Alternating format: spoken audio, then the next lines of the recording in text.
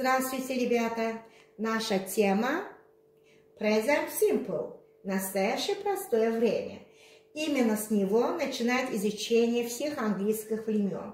Еще это время называют Present Indefinite – настоящее неопределенное время.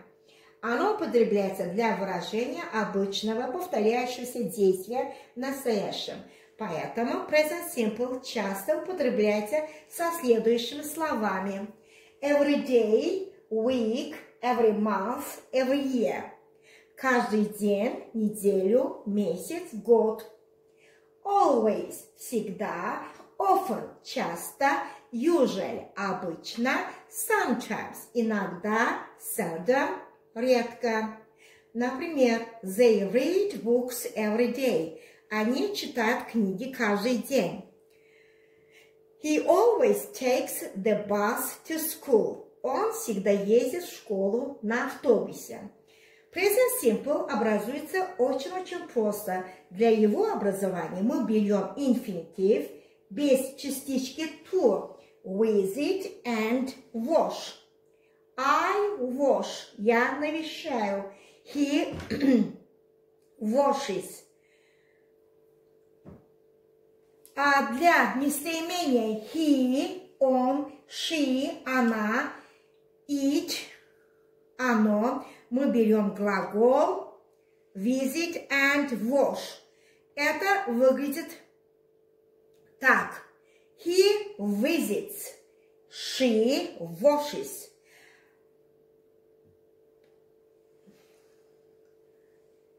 Как вы видите, мы добавили окончание – S и S в третьем лице единственного числа.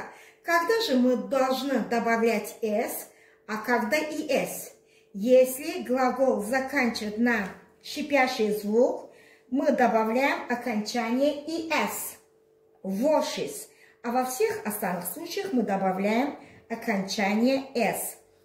То есть, чтобы добавить окончание «es», глагол должен заканчиваться на следующие буквы. S, двойная S, CH, SH, X. Dress – одевать. She dresses – она одевает. Есть еще два глагола, которые э, в третьем лице единственного числа добавляют окончание «es». Э, это же нужно э, запомнить, это же исключение. Например, go, do. He goes, she goes, he does, she does, it does. Он, она, оно делает. Глагол, э, заканчивает, э, если глагол заканчивается на букву Y, например, study, изучать,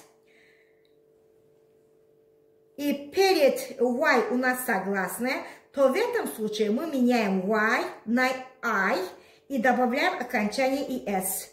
Но если перед Y будет гласная, э, как play, играть, то тогда мы просто добавляем окончание S и у нас ничего не меняется.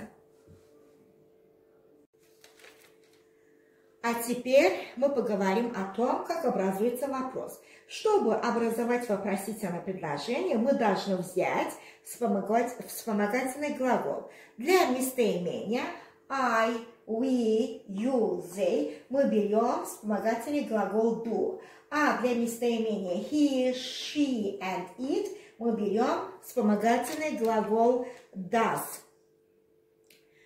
Э, в вопросе вспомогательный глагол всегда стоит перед подлежащим, а после подлежащего мы должны употребить смысловой глагол. Например, does she wash?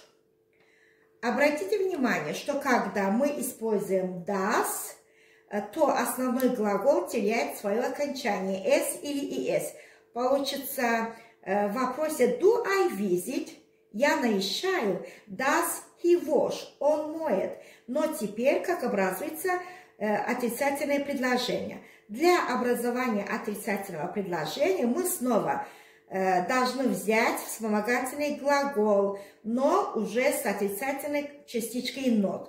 Получается I, we, you, they do not. Мы можем использовать сокращение don't.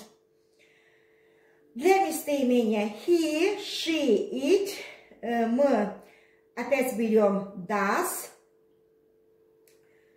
э, и мы берем без окончания. Например, I don't visit. Я не навещаю. We don't wash. Теперь мы знаем, как образуется утвердительное предложение, э, вопрос и отрицание в simple present. We go to school every day. Мы ходим э, в школу каждый день. Do we go to school every day? We do not or we don't go to school every day. She always washes dishes. Does she always wash dishes? She does not or she doesn't always wash dishes.